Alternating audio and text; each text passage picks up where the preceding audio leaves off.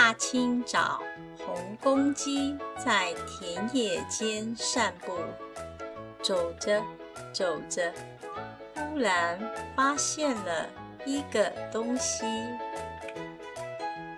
红公鸡低下头，好奇地想：这是谁家的蛋呢？怎么放在这里呢？要是感冒了就不好啦。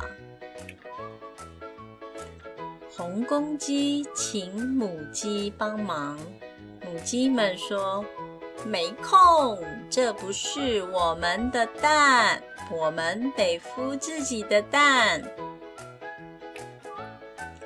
红公鸡回去等蛋主人的出现，等啊等，从早上等到晚上，天下起了雨，红公鸡又冷又饿。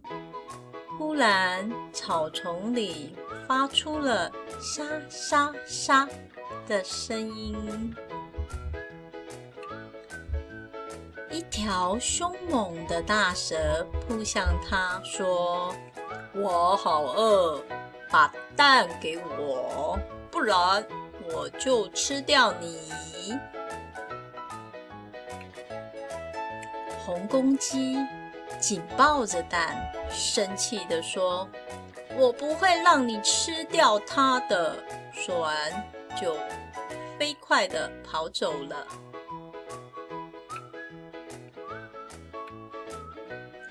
唉，怎么办呢？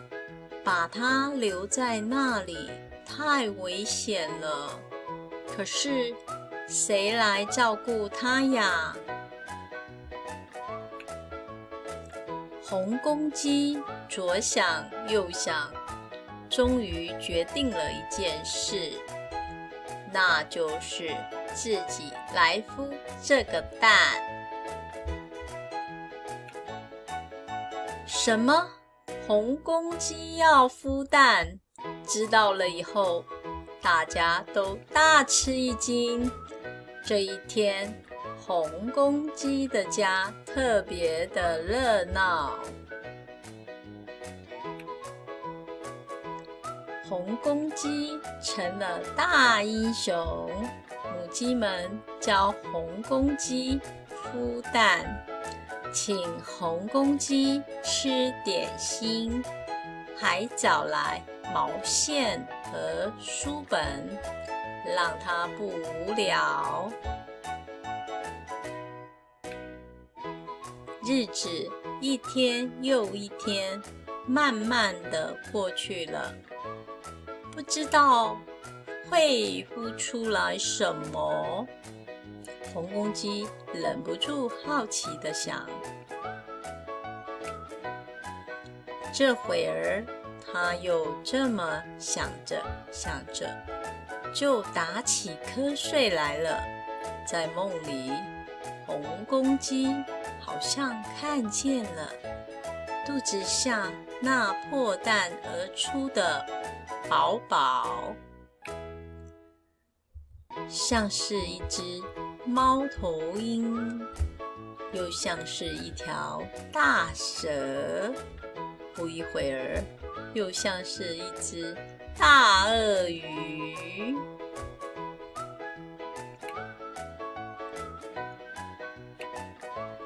下一秒钟又变成一只。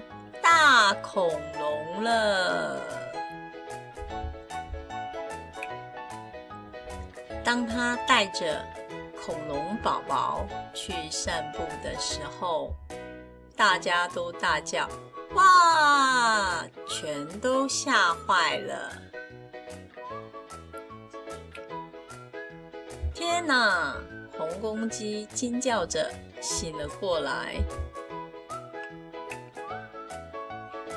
忽然感觉到肚子下面有东西在动，一只小鸡正啄破蛋壳，露出头来。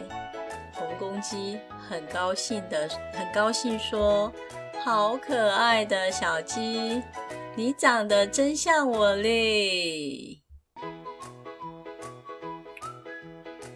现在红公鸡又开始每天早晨散步了，不过不再是自个儿出门喽。傻鸡有傻福。